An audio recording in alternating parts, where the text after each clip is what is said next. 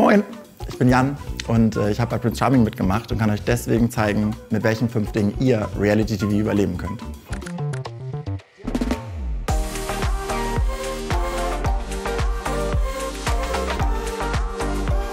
Ich muss sagen, die Entscheidung zu Prince Charming zu gehen, war eigentlich gar nicht so richtig meine.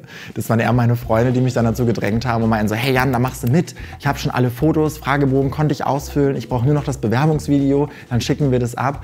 Hab's dann doch gemacht äh, und habe mich nachträglich so drüber gefreut. Also, ne, man muss, glaube ich, einfach aus seiner Komfortzone rausgepusht werden, um irgendwie wachsen zu können. Womit fange ich jetzt an? Moment. Ich hätte mir vorhin ein Manuskript schreiben sollen.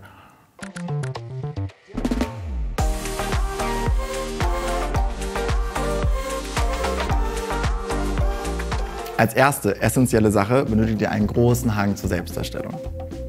So ein kleiner Narzissmus ist nie verkehrt, wenn man 24-7 von Kameras überwacht wird.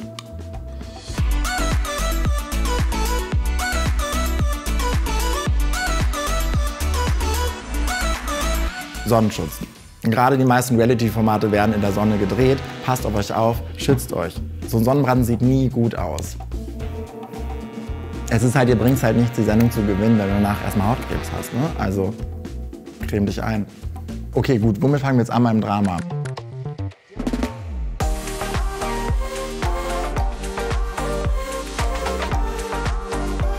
Drama, Drama, Drama. Ich empfehle natürlich das Klassische, aber auch weg davon, Theatralik immer gut. Gefühle müssen echt sein. Ne? Da darfst du nicht spielen. Da musst du dich wirklich drauf einlassen.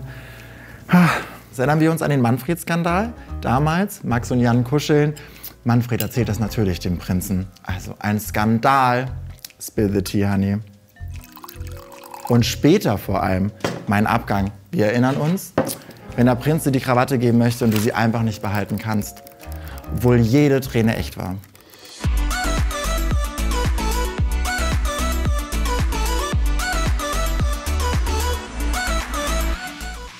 Trinkfestigkeit.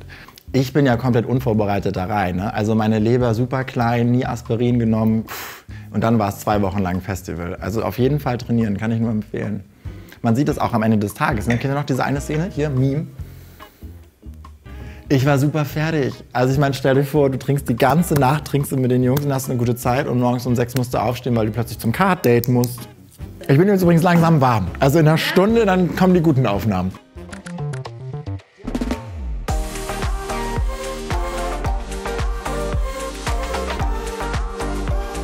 Von mir definitiv unterschätzt die Outfitwahl. Achtet drauf, was ihr anzieht. Äh, Gerade wenn wir uns einen Robin angucken, einen Thomas angucken, da wird abgeliefert von Tag zu Tag. Packt euren Koffer gut und vor allem geilen Scheiß ein. Ich muss sagen, wir sind so eine super liebe Community gewesen und wir haben uns immer unterstützt. Ich weiß noch, ich habe einen Rock getragen an einem Tag und dachte, oh Gott, kann ich das überhaupt hier tragen? So, wie sieht das aus? Macht man das? Und es kamen sofort fünf Jungs auf mich zu und meinten, geil, dass du einen Rock trägst, schönes Statement. Ich habe auch einen Rock dabei, den ziehe ich jetzt auch an. Also gerade da, Reality TV kann judgen, kann aber auch so viel Liebe bringen. Alles in allem kann ich sowas nur empfehlen. Ich persönlich bin bei Prince Charming so gewachsen, habe so viele tolle Menschen kennengelernt, da brauchst du auch gar keinen Prinzen mehr am Ende.